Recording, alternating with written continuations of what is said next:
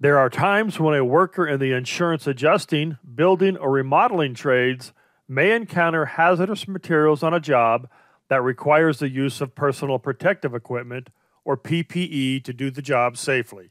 This short video will show you where to find those PPE items in Xactimate. Some of the more common hazards are asbestos, lead found in paint, mold, and viruses such as COVID 19.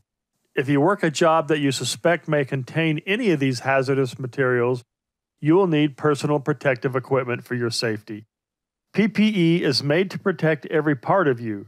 What equipment you choose to wear depends on the job you are performing. Your specific job may require just a respirator to protect your lungs, or safety glasses and gloves to protect your eyes and hands, or rubber boots for your feet.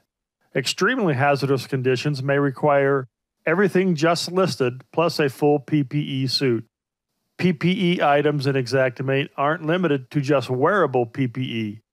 You will find items for disposal of hazardous materials as well as codes for added cost for remediation of all hazardous materials. Two category codes used to find PPE are HMR for hazardous material remediation and WTR for water extraction and remediation. If you follow these codes with the selector code PPE, you will find most everything you need to keep yourself safe from hazardous materials as you scope the property or deal with the cleanup.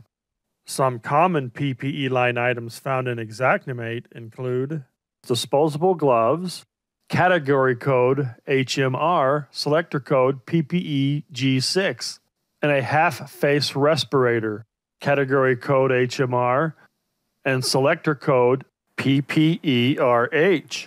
Other hazardous cleanups may require a heavier glove. PPE GHD. A full face respirator, PPE RF, and eye protection, PPEE.